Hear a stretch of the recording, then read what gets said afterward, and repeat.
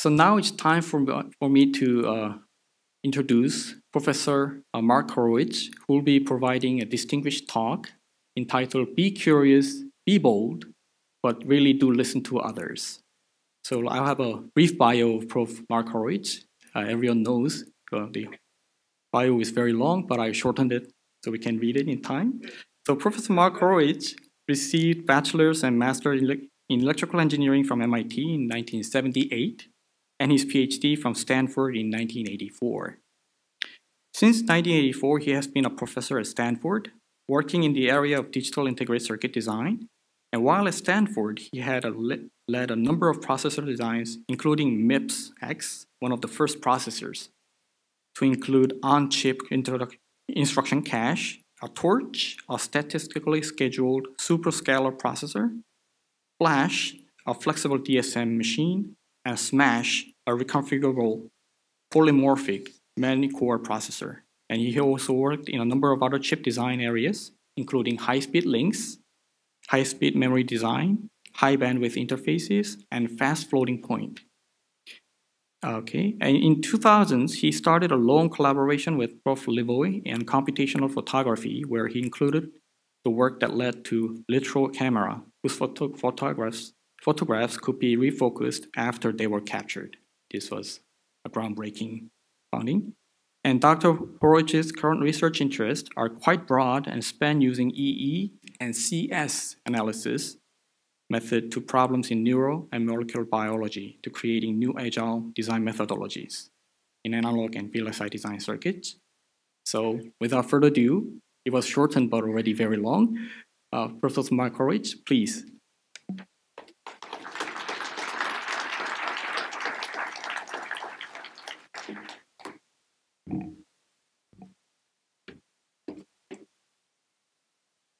Oops, wrong Okay.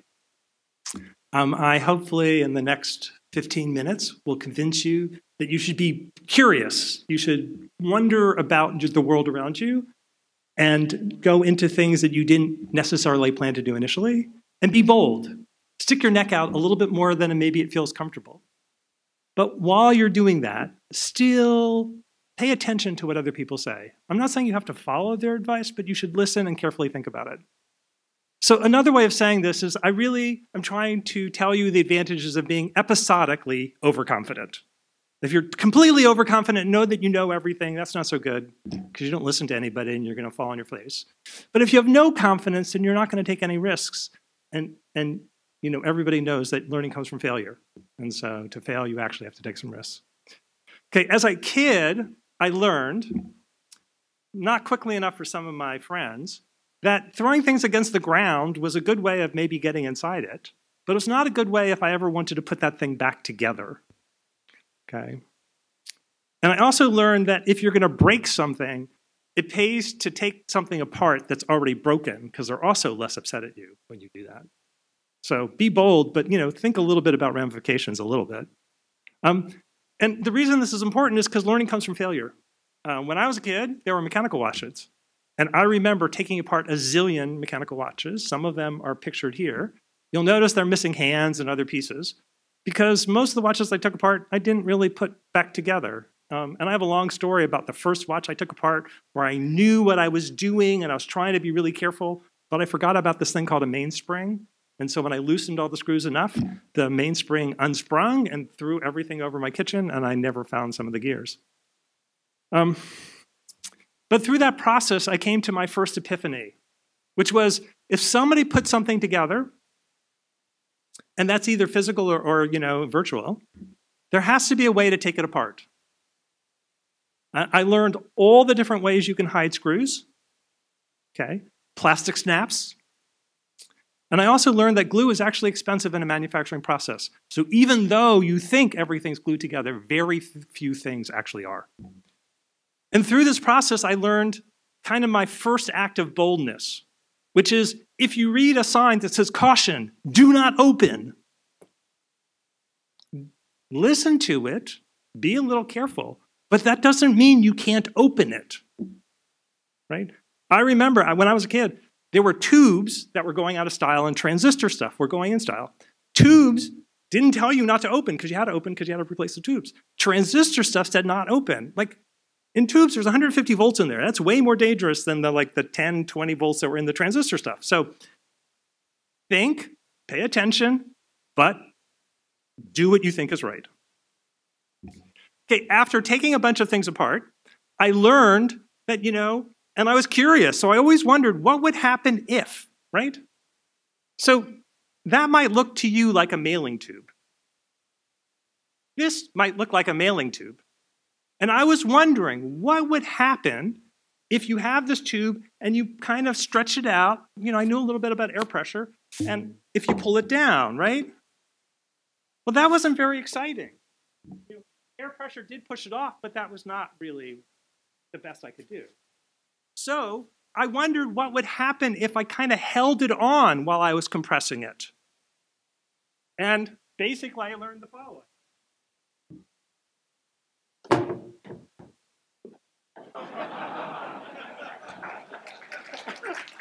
That was. I meant to bump it off the top, not go in. That was like excellent aim, but I didn't intend.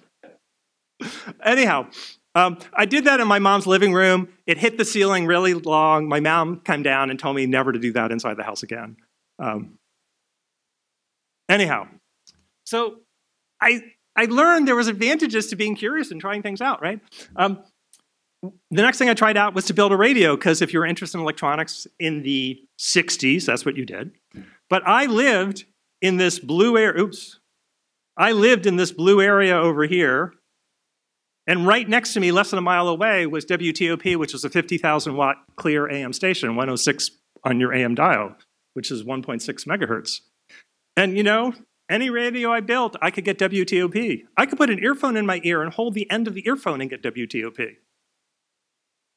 But I couldn't get anything but WTOP. So it was not that interesting to build radios for me. So I moved on and was interested in digital stuff.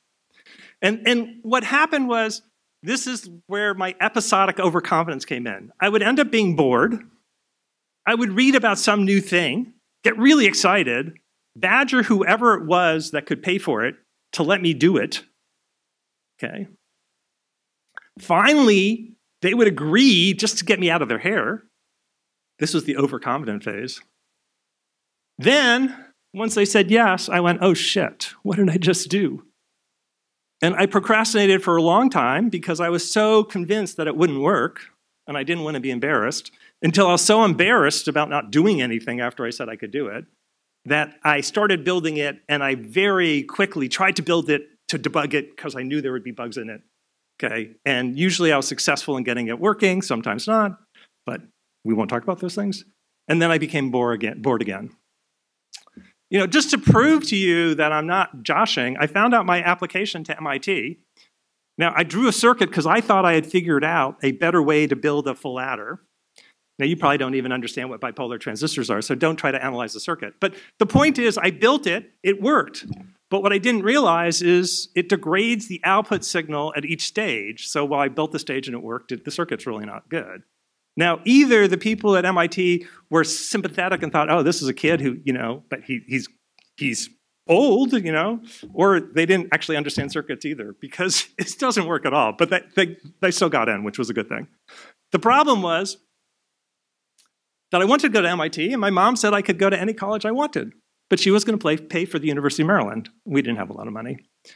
Um, so I needed a summer job, and I was very lucky. I got a summer job at the National Bureau of Standards, which is now um, NIST, National Institute of Science and Technology. Um, I had done lifeguarding before, and I was not a good lifeguard, and I didn't want to do that. So I was very good. I was very lucky to get this law, this job at uh, lab tech at Bureau of Standards. Um, during the four years that I worked there when I was going to MIT, I built a ton of instruments and controllers. What's interesting when I look back at those, they all could have been built by an Arduino today. A little software in an Arduino probably could do all of them. But Arduinos didn't exist back in the, in the 70s. I learned a ton about noise and measurements. I ended up measuring parameters to six figures, which if you want to, you know, want to talk to me, it's actually pretty tough um, to get anything that's good to six places. I, we ended up controlling temperatures to microkelvin. Um, but mostly what happened is I built my confidence that I could do things. Um, And you know that little circle? I don't know how many times I did this. You know, I would say, "Oh, I'm going to build the digital filter." I had no idea what a digital filter was, but I thought it was cool. You know, I built it. It worked, and then like a year later, I learned in, at MIT how cir digital circuits work, and I went, and God was smiling at me because I had this race that could have broken the circuit, but you know, it went in my favor. So one of the things I learned in this job is that you know they had a list of things for me to do, and if I just did those things, I would have done, and I would have been bored spitless, right?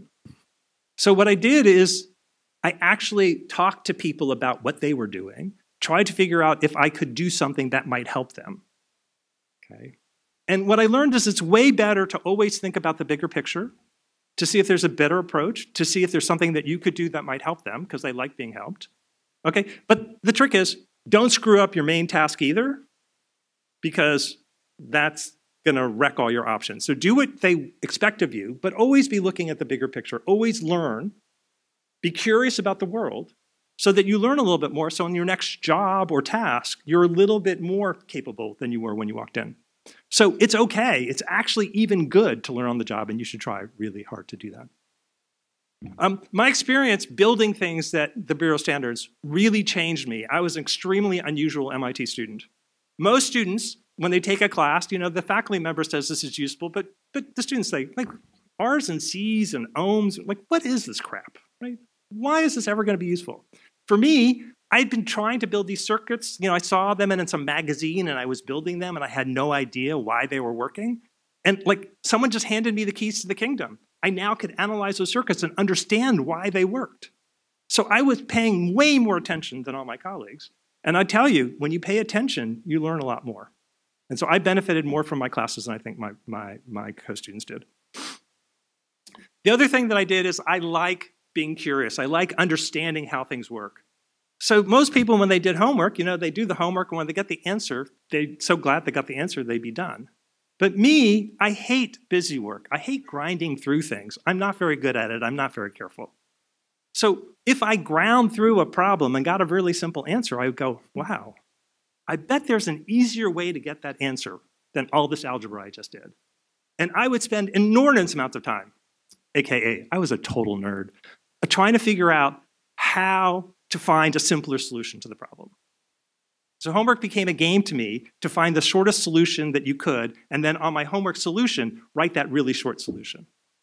Um, but as a process, as a result of that, I learned a bunch of tricks. So people now think I'm really smart. I'm not really smart. I'm really lazy. I just have been practicing being lazy for a very long time.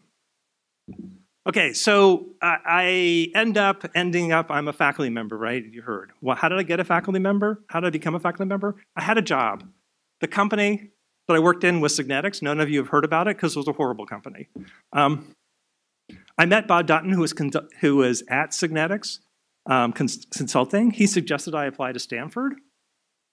You know, I thought MIT was fun. You know, I, you know, I like school. I didn't want to move. I hate moving. And, you know, Stanford was right close in Silicon Valley. So I became a PhD student. You know, this was really strategic. I'm, I'm, trying to tell you that you know everything in your life doesn't have to be strategic.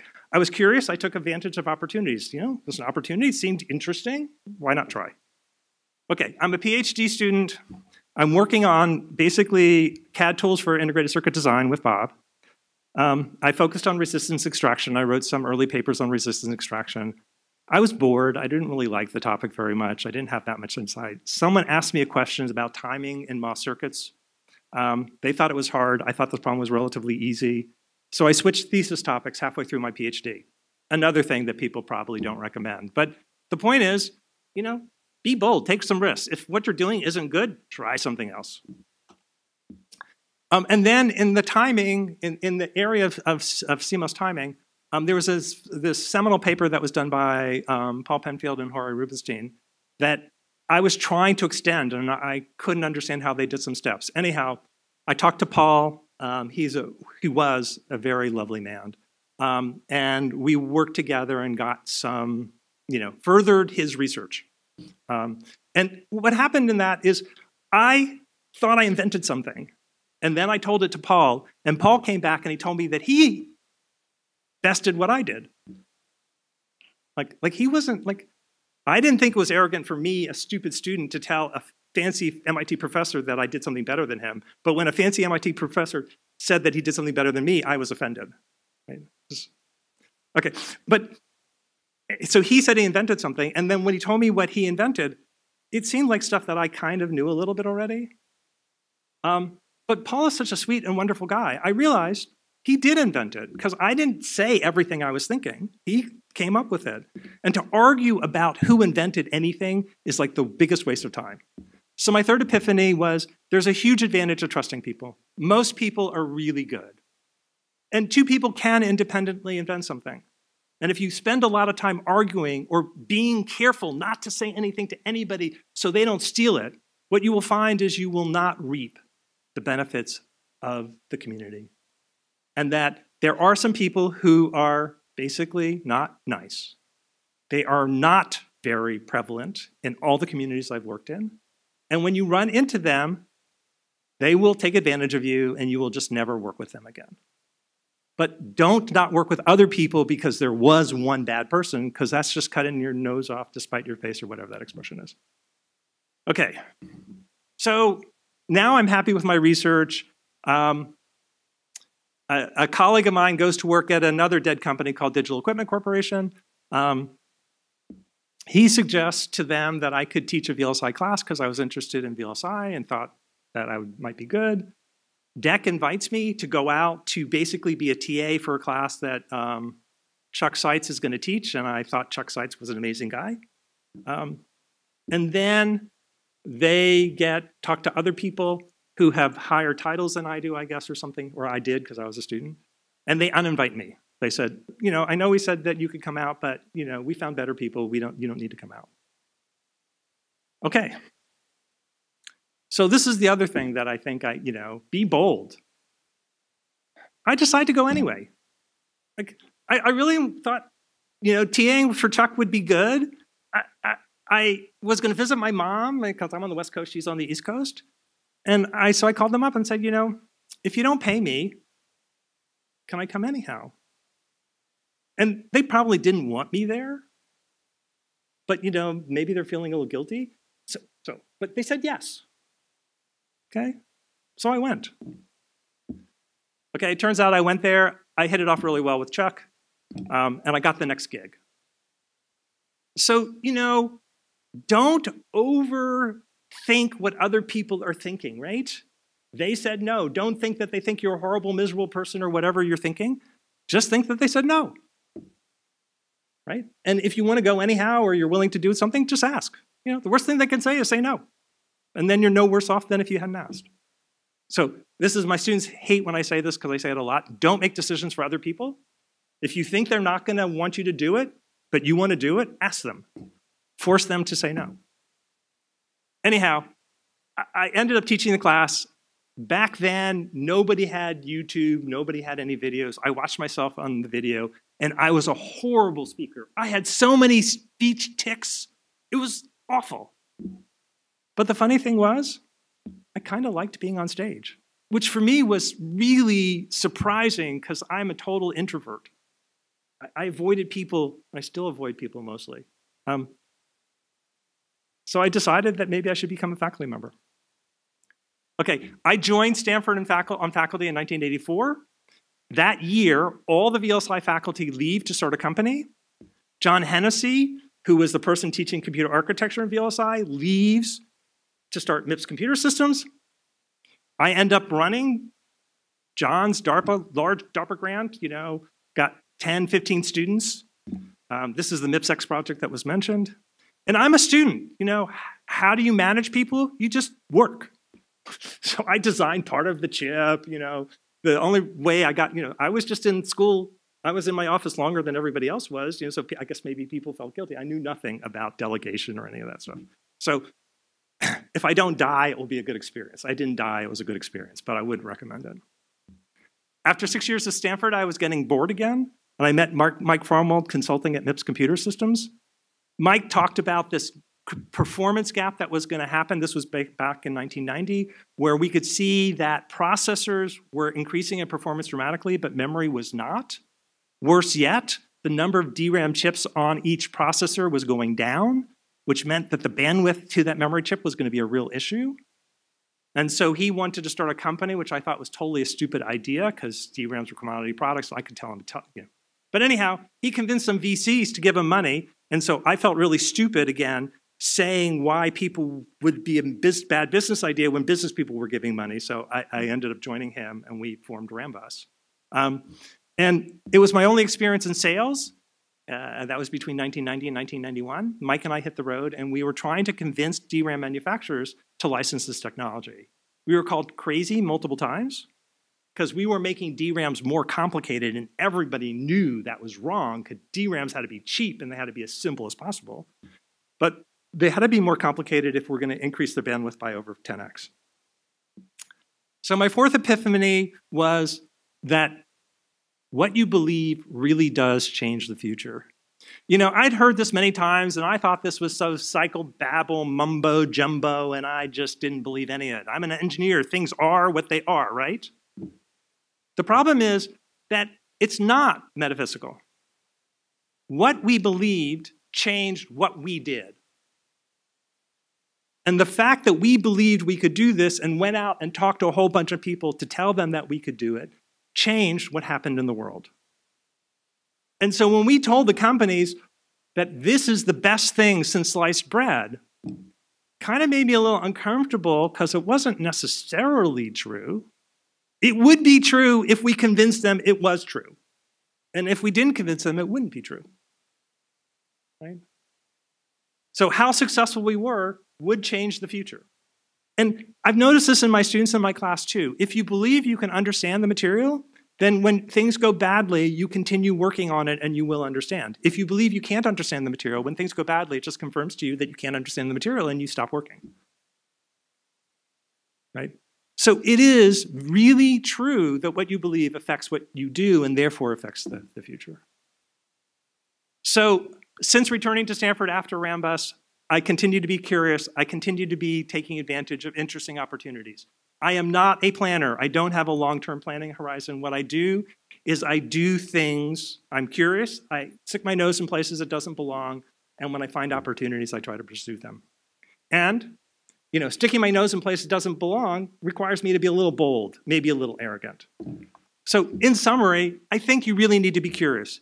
There's a tremendous advantage to being willing to look at and learn about parts of the world that you don't quite understand. It's also really important that you believe in yourself because it really does change outcomes because it allows you to take on tasks that maybe you wouldn't take.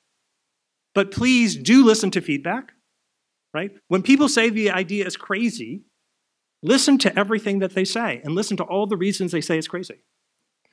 Like, if you know all those things, right? And you have answers for them, great. Continue to do what you, you're doing. If they raise a point that you hadn't thought about, for damn sure, please think about that point and understand whether they're right or not, and then try to adjust strategy. Okay? Thank you all for your attention.